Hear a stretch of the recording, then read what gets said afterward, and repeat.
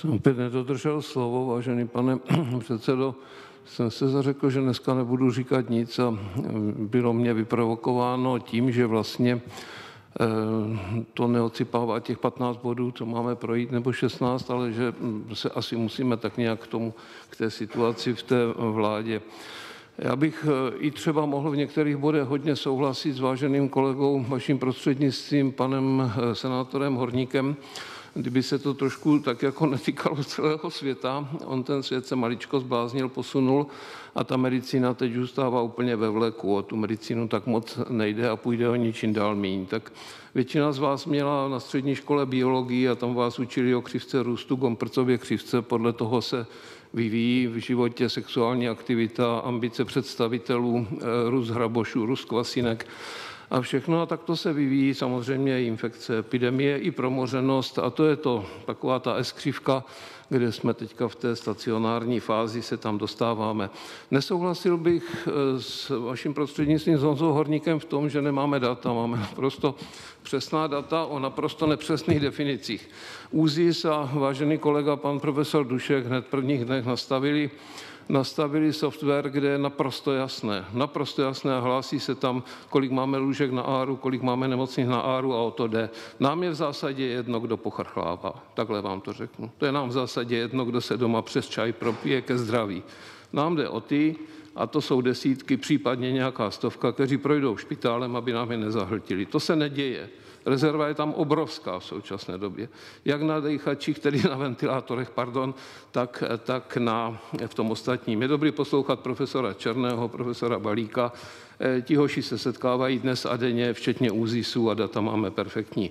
Kdo si sáhne na webové stránky ministerstva, i dneška tam bude vidět, jak se co kde ohýbá. Dokonce mě překvapilo, že jsou tam i různé respirátory, jak byly přiděleny do krajů a podobně. Na druhé straně bych nesouhlasil se světovými statistikami, kde pořád je uváděno, že v Indonésii, což víte, několik set ostrovů a 140 e, milionů obyvatel, tuším, je jeden případ a není tam žádné úmrtí. Stejně tak na Nové Gvineji je definován jeden případ. Takže víme, že mm, asi ta data nebudou přesná. Mě uchvátí, když se ví, že včera v Iránu třeba onemocnělo dalších 14 lidí. Kdo si dovede představit Irán, tak ví, jak těch 14 se počítá. A správně pan kolega řekl, že někdy i v těch krajích to nemusí být přesné. My jsme s panem profesorem Duškem vedli docela zajímavou debatu o tom, co je to úmrtí na koronavirus.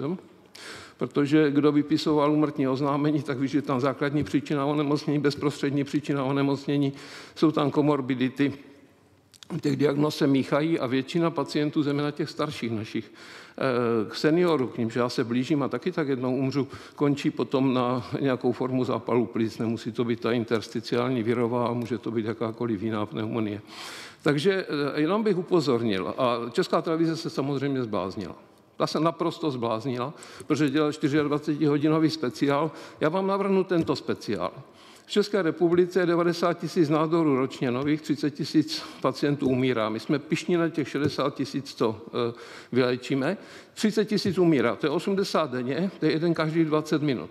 Představte si zprávy ráno v 6 hodin, kdy oznámí vážení spoluobčané, už nám umřelo od půlnoci 18 občanů a čekáme v 6 hodin 20, že umře další. Teď nám hlásí ze Vsetina, že umřel pan Novák ve Vysokém mítě. 8 hodin to bude o dalších 6 víc. Dovedete si to představit?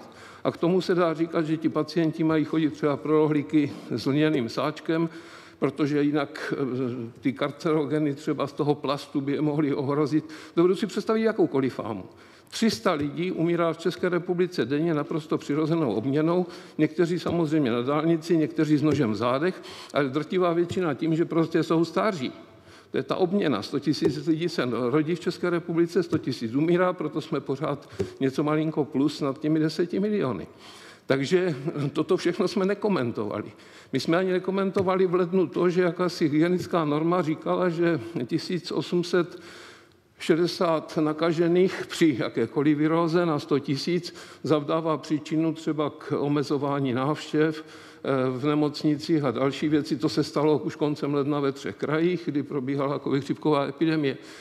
1860 na 100 tisíc je 18 tisíc na, na 1 milion a je to 186 tisíc na 10 milionů. Dovedete si představit 186 tisíc covidů? My jsme se zbláznili tady a to je hygienická norma proto, abychom zvážili jako ředitele nemocnic, Eh, omezení návštěv a podobné věci. Takže to je každoroční rutina. Zeptejte se těch lidí na ARU, no tak samozřejmě, že mají práci na ARU, samozřejmě, že běhají kolem ventilátoru eh, v, sezónním, v sezónních obdobích a když se nakumulují ti pacienti do jednoho špitálu, tak jako to bylo v té severní Itálii, kterou teda velice bedlivě sledujeme, ale sledujeme taky provincii další, Bazilikátu, sledujeme, sledujeme Kalábrii a sledujeme jiné oblasti. A bavíme se samozřejmě s lékaři, třeba s Monikou Silvestriny z Říma, která nám píše, ať pro onkologické pacienty uděláme nějaké schéma. Teď vám řeknu nakonec ještě jednu věc, tím nespochybnuju nic. Ta vláda se nemohla jinak chovat, protože svět se zbláznil, česká televize se zbláznila, ale teď jde o to, to trošku normalizovat, čímž teda nenarážím na přání prezidenta Husáka, který byl nadšený pro normalizaci, ale teď by se to docela už pomalinku hodilo. Neboť se podívejte všichni teďka na počítače na ministerstvo zdravotnictví, na tu křivku je to asi šestý graf, jak se nám to hezky začíná ohýbat. Moc drama se neděje. A ze svého ústavu, kde jsme měsíc, samozřejmě testujeme, operujeme furt my nemůžeme odkládat onkologické pacienty. 200 ozařované denně, 20 operované denně, asi 250 chemoterapií denně. Ti lidi tam pořád proudí, tak jsme se konečně po měsíci dobrali k dvěma pozitivním covidům. Testujeme to sami, protože máme svoje PCR laboratoře. Ke dvěma pozitivním a ti jsou Eh, oni až na tu rakovinu jsou jako zdraví. Oni znervozněli, když byli najednou pozitivní, že jo, jinak mají jenom tu rakovinu. Takže rakovina už nikoho nestraší v současné době, třeba mrtvice. Jo? A tudíž podporuji to, co říkal včera pan docent Balík v televizi. Prosím vás, eh, nechte nás taky trošku v tom zdravotnictví se starat o ty ostatní, a myslím si, že ti, co omezovali nějak nadměrně ten provoz, že proto už teď není důvod. Možná proto byl ta neskušenost, vyděšenost ze všeho a hlavně ten příklad světa, který byl nahlas napříč. Takže něco zatím bude ještě dalšího a není to jenom medicína. Těch virů je celá spousta a s tady budeme a přežijou nás. Ujišťuju vás, že všechny vás přežijou mikroby i lidstvo patrně. Tak eh, nezlobte se, to bylo takový emoční. Já jsem se nechal vyprovokovat. Děkuji a už potom se nebudu hlásit.